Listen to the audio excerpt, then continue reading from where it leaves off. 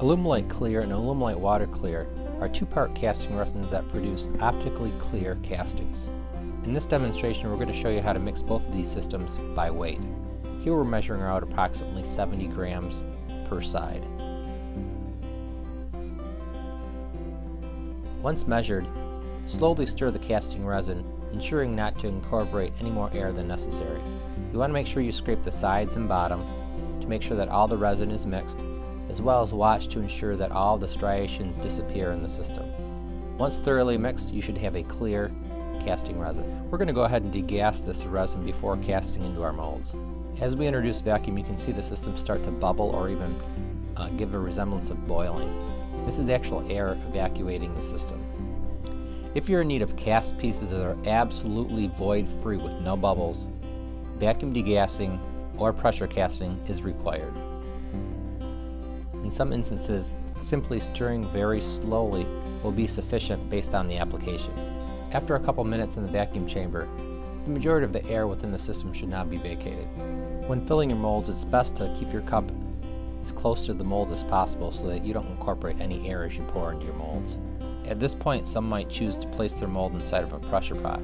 This would compress any remaining air left inside the system.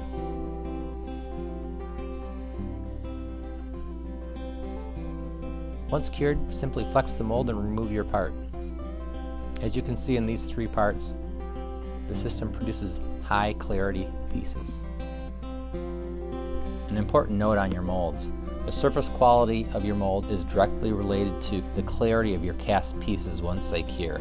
So if you take a casting from a highly glossed object, your parts will come out very clear.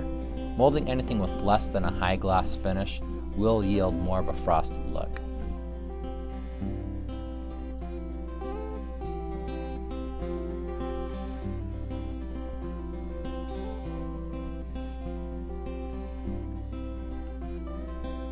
While both the Alumilite Clear and Water Clear are really similar in their properties, there are some differences to note.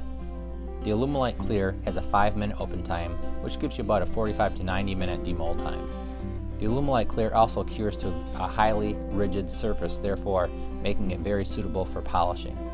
Water Clear has a 15 minute open time and a demold time of about 2 to 3 hours. This system is ideal when you have a little bit larger mold or a larger casting and need some extra time.